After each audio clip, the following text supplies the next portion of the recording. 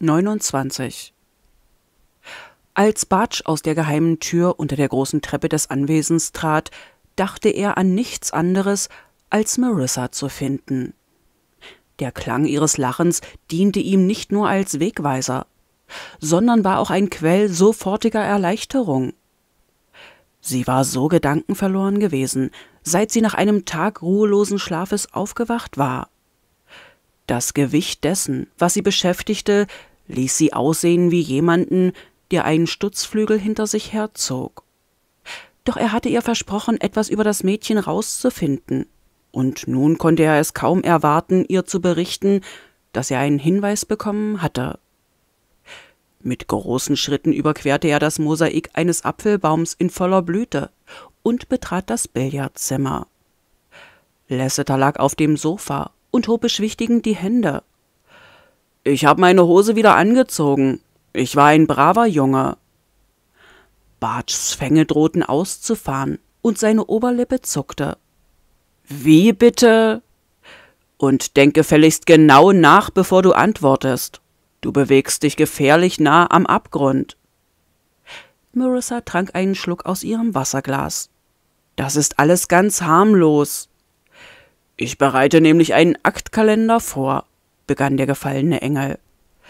Er hatte einen String an, die Aufnahmen sind alle mit einem Selfie-Stick gemacht.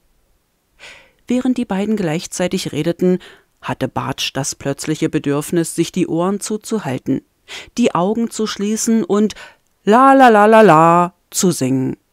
Wisst ihr was? Das reicht. Mehr muss ich wirklich nicht hören. Über irgendeins von Lasseters Mätzchen, um genau zu sein. Der Mistkerl hatte die Angewohnheit, das Normale zu verkomplizieren und das Alltägliche ad absurdum zu führen. Ein echtes Talent. Man brauchte nur den gefallenen Engel zu fragen. Er hatte es drauf.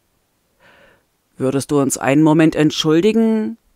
Bartsch ging zu Marissa hinüber und küsste sie auf die Stirn. Oh, wie gut sie roch. Und wow, konnte diese Frau eine schlichte Hose samt Bluse aussehen lassen, wie ein verdammtes Ballkleid. Ich muss mit meinem Mädchen reden. Kommt nicht in die Tüte. Ich schaue Melrose. Das war keine Bitte, Engel.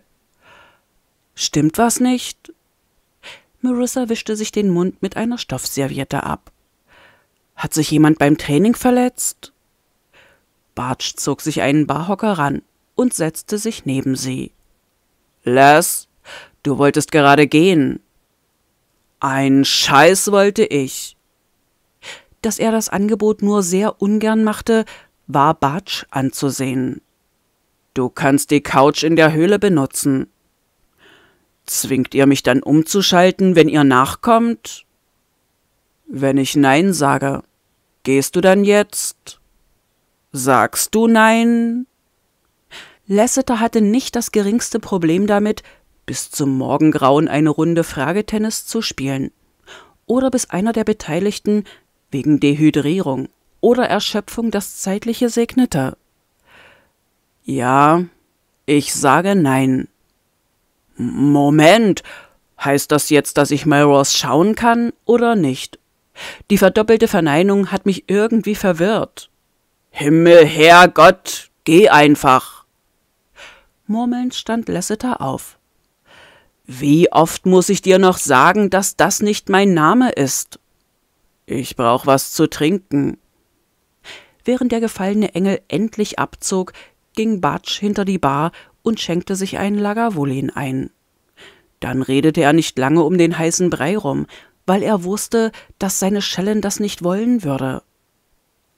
Also, ich glaube, ich habe eine Spur. Echt? Sie legte die Gabel beiseite. Was denn? Woher? Bartsch versenkte zwei Eiswürfel in der bernsteinfarbenen Flüssigkeit. Dieses Metallteil ist ein Schlüssel und es verschafft einem Zugang zu einem Privatclub nur für Menschen. Gütige Jungfrau, wenn wir irgendwie an eine Mitgliederliste kämen, könnten wir vielleicht ihren Namen rausfinden. Tja, meine Liebe, Das ist aber leider kein Country Club, dachte er und nahm einen großen Schluck. Wie hast du das rausgefunden? fragte sie. Einer der Schüler ist Mitglied. Er nimmt mich so bald wie möglich mit dorthin. Ich muss mich nur erst mit den anderen Brüdern absprechen, wie es die kommenden Nächte aussieht. Ich glaube, wenn ich ein paar Unterrichtsstunden verlege, kann ich mir den Freitagabend möglicherweise freischaufeln. Und dann gehen wir dahin. Das ist genial. Als er mit seinem Glas auf halbem Weg zum Mund innehielt, legte Marissa die Stirn in Falten. Warum siehst du mich so an? Im Ernst, ich begleite dich. Er schüttelte den Kopf und nahm dann noch einen Schluck. Nein, ich kümmere mich darum. Keine Sorge, ich berichte dir alles, was ich rausfinde, sobald. Ich gehe mit. Beim Anblick ihrer entschlossenen Miene stellte er sein Whiskyglas ab. Marissa, das ist die Art von Ort, an dem du nicht mal vorbeizufahren brauchst, geschweige denn hineinzugehen. Es handelt sich um einen Sexclub. Ja, und? Er blinzelte. Schatz, das ist nicht. Muss ich dich daran erinnern, was wir nach dem Film gemacht haben? Viermal? Marissa. Batsch, gab sie zurück. Um nicht laut zu fluchen, kippte er seinen Drink hinunter und schenkte sich einen neuen ein. Das ist nicht dein Ding. Da vögeln irgendwelche Leute wild rum und tun sich gegenseitig krasse Dinge an. Damit kommst du nicht klar.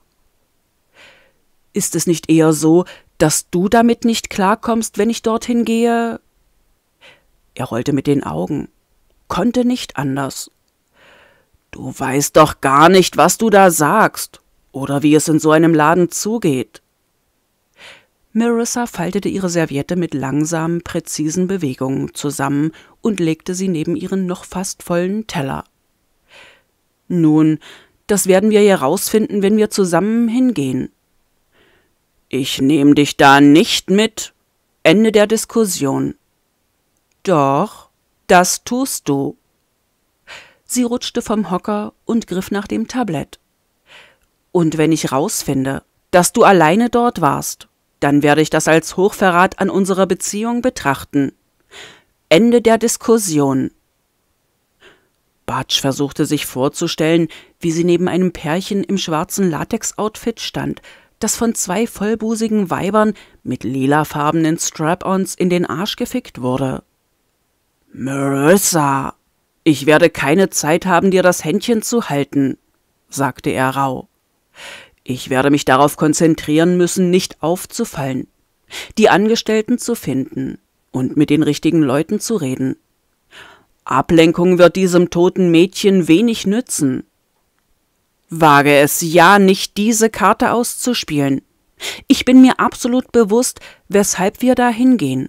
Und ich möchte dich an dieser Stelle gern darauf hinweisen, dass du mein Halloran und nicht mein Hüter bist. Also spar dir deinen Pater Familias Bullshit und wirf dir, wenn nötig, vorher ein paar Valium ein. Aber ich hoffe, ich drücke mich klar genug aus. Ich komme mit und werde dir dabei helfen, das alles aufzuklären. Sie beugte sich vor. Falls du es noch nicht wusstest, bloß weil ich zwei Eierstöcke habe, heißt das nicht, dass mir das Gehirn fehlt oder das Recht dazu, unabhängig zu denken. Während des Schweigens, das darauf folgte, konnte Bartsch nichts anderes tun, als den Kopf zu schütteln. Die Worte, die ihm auf der Zunge lagen, wären in dieser Situation nicht hilfreich, und er konnte nicht fassen, dass sie schon wieder stritten. So viel zum Neustart, den sie in der vergangenen Nacht hingelegt hatten. Oder ist es das, was dir Sorgen macht? fragte sie herausfordernd. Was denn? Dass es mir gefallen könnte. Nachdem sie ihm diesen kleinen Brocken hingeworfen hatte, als wäre es eine Handgranate, stolzierte sie mit hoch erhobenem Kopf davon. Ihr Rückgrat gestählt, von einer ordentlichen Portion Reg dich nicht so auf. Bart stützte sich auf der Granitplatte ab und versuchte nicht vor Frust zu brüllen. Wenigstens war die Flasche Lagavulin noch zu drei Vierteln voll. Die würde er brauchen. Peyton blies einen Schwall Rauch in die Luft und ließ den Kopf zurück aufs Kissen fallen. Bitteschön. Er reichte die Bon an ans Lamm weiter, schloss die Augen und hatte das Gefühl, etwa einen halben Meter über seinem Körper zu schweben. Das vertraute Gefühl der Erleichterung erinnerte ihn daran, dass Perry vermutlich recht hatte und er das Rauchen vielleicht besser lassen sollte. Aber verdammt! Nach den letzten beiden Nächten brauchte er eine kleine Auszeit. Scheiß drauf, er hatte es sich verdient. Und was hältst du von den anderen? fragte er.